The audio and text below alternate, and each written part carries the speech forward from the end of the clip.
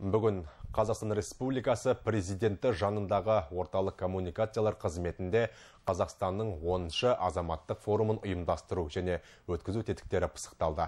Ел тәуелсіздігінің 30 жылдығы қарсаңында ұйымдастырғалы отырған шара қарашаның 21 мен 26 аралығында онлайн және офлайн форматта өтеді деп жоспарланған. Оған министрлік өкілдері, депутаттар, қоғам белсенділері мен қайраткерлер, үкіметтік емес ұйымдардың өкілдері қатысып, халықаралық конференция мен ашық алаңдардың спикерлері атанады. Форумның арнайы бағдарламасы аясында алғаш рет қазақ, орыс, ағылшын тілдерінде азаматтық қоғамды дамытуға бағытталған ресми сайт өз жұмысын бастады. Оған кез келген ел азаматтар келіп, шараға онлайн қатысуға мүмкіндігі бар.